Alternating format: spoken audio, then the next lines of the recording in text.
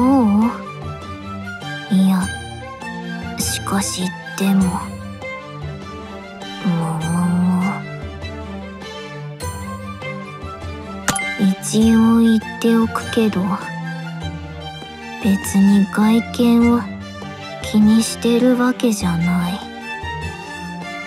気になってるのは鏡の作用について。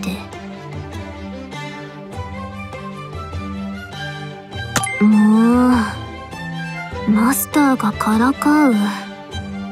今度マスターのご飯にひっそり薬盛る。ま言ってる時点で本当はしないけど。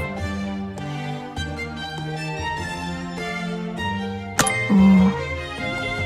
左右は反対なのに。なんで上下は反対じゃない？全部逆にするのならわかりやすいのに。右腕を上げたら左腕を下げるべき。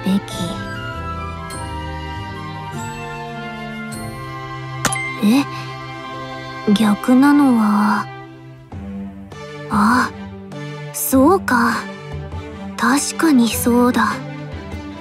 前後が逆なんだ。